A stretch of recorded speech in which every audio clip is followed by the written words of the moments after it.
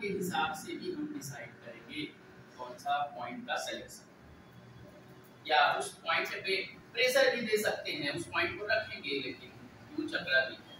Then heart चक्रा और heart चक्रा का देखो हमने एक थ्योरी पढ़ाई थी इन्फ्लुएंशियल थ्योरी पढ़ाई थी इन्फ्लुएंशियल थ्योरी में आपने देखा होगा सीबी 17 एक पॉइंट आता है इसका संबंध किसके साथ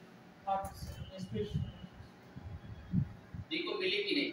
ऐसी तो बनी है थियरी सबको जब मर्ज करते हैं तो कुछ थियरी निकल गया।